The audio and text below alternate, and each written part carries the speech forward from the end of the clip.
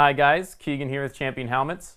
We've finally gotten our hands on the new Pista GPRR from AGV, so we thought we would see how it compares to the original GPR out on the road.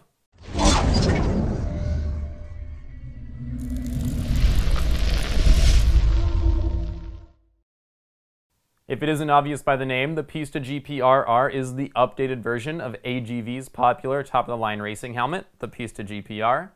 This update comes with a small price increase of about 50 euros, with the recommended retail price of the GPRR coming in at 1250 euros, around 1400 US dollars, compared to the GPR's 1200 euros, around 1350 US dollars. We have already put out a video going over the minor changes that have been made to the Pista GPRR, and if you want to check that out, I'll link to that at the end of the video. But today we are going to see if those changes and that extra R have any significant effect on the road. If you want to check out our dedicated reviews for either of these helmets, or if you want to see any of our other road tests, then please head on over to our YouTube channel where you can take a look at our review and road test playlists. So before we get started, I'll quickly go over the main features for both of these helmets, and you notice that they are very, very similar. They both come in four shell sizes with the shell made out of 100% carbon fiber, and they also share the same weight of roughly 1,450 grams. Another thing both helmets have in common is their visor, which is the exact same visor. It's a quality visor which is easy to remove without tools, and it comes Pinlock Intera prepared with the Pinlock included in the box. The GPRR does have a slightly larger spoiler and more customization for the inner liner, and it does also have the new FIM safety certification. Now that we are on the bike, I'm going to quickly point out the monitors and sensors we'll be using to gather our data. On the left, there's a white monitor keeping track of the internal temperature of the helmet, with its sensor located inside the helmet at the top of our rider's head. In the middle on the top, we have a decibel meter to monitor the helmet's noise isolation, with that sensor located between our rider's head and the lining, and on the right you can see the wind speed, and finally in the middle on the dashboard you can see the speed of travel in kilometers per hour, as well as the outside temperature. So let's start with the old guard, the Pista GPR. Being AGV's top-of-the-line racing helmet, it is no surprise that our rider had few complaints. He found it to be comfortable, but did note that the liner was a little thin.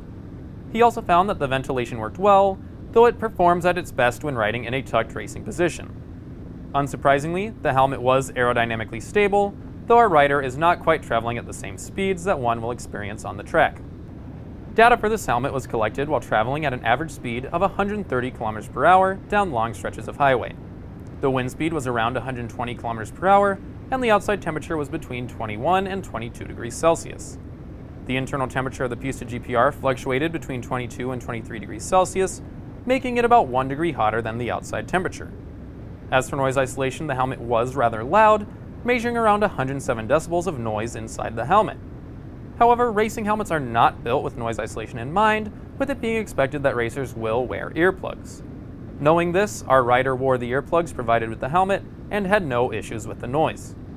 Given the performance of the Pista GPR during the road test, we rate it 4.5 stars out of 5, making it one of the top helmets available on the market. It is also one of the most expensive helmets on the market, with each star from each category costing around 44 euros. Moving on to the shiny and new Pista GPR-R, our rider found the helmets to be very similar. Ventilation and aerodynamics were similar according to our rider, though we do expect the aerodynamics of the GPR-R to perform just a little bit better on the track. The one thing our writer did mention that is different is that the new Pista GPR-R is noticeably more comfortable with a much more comfortable liner. Other than that, our writer noticed almost no difference. Let's see if our data agrees. Once again, the data was collected while traveling at an average speed of 130 km per hour down the same stretches of highway. The wind speed was fluctuating between 115 and 120 km per hour, and the outside temperature was just a little bit cooler at 20 degrees Celsius. The internal temperature of the Pista GPR-R was around 21 degrees Celsius, 1 degree hotter than the outside temperature, which is similar to the original GPR. As for noise isolation, the results are the same as the GPR, with the decibel meter registering 107 decibels of noise. Our writer did once again wear earplugs and did not find the noise to be a problem. Having seen the performance of the GPR-R, we find it to be very similar to the GPR in performance as well as name. However, improvements in comfort and minor improvements elsewhere in the helmet convince us to award the Pista GPR-R 5 stars out of 5.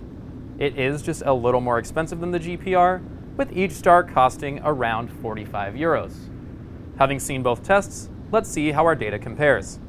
The data is very easy to see thanks to our nice friendly graph.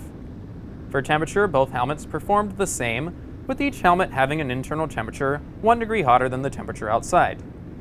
They did also perform the same in noise isolation, with each helmet registering 107 decibels of noise. Like I've said, there is very little to differentiate between these two helmets. Now that we've seen both helmets, please remember that you can find both these helmets on our website at championhelmets.com, and once you're there, you can visit the product page for each helmet, read a full product description, and see what product bundles we have available. We have put father and son head to head and we've seen our results. And it turns out the old adage is true. The apple does not fall far from the tree. Both helmets have very comparable results in all of our categories.